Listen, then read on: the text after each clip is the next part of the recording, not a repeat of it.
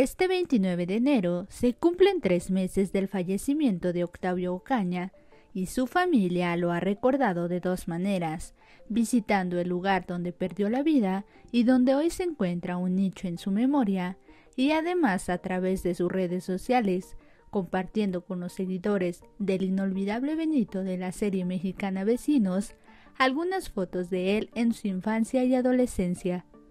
A tres meses de tu partida el dolor es incurable y triste. Te amo y amaré por siempre, mi ángel hermoso, escribió Ana Lucía Ocaña, mamá de Octavio, en una publicación de Instagram, la cual acompañó con varias fotografías del actor. Sus hermanas Berta y Ana Leticia también hicieron lo mismo en sus respectivas cuentas, en las que mostraron algunas imágenes de su visita al tramo de la autopista Chamapa-Lechería, donde su hermano falleció y que visitaron para llevar flores. Nerea Godínez, quien fuera la prometida de Octavio, no estuvo presente en esta visita, pero también manifestó su sentir en sus redes sociales.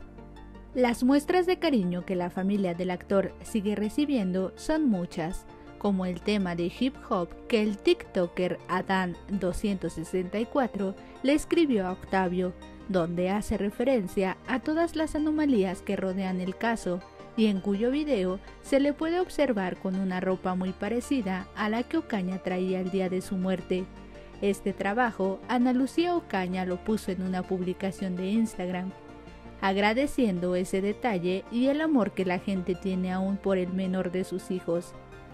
Por su lado, Berta Ocaña ha dedicado parte de su espacio en Instagram para difundir información no solo de las irregularidades en el caso de su hermano, también de información sobre cómo actuar ante cualquier autoridad del orden en el momento en que quieran realizar una detención.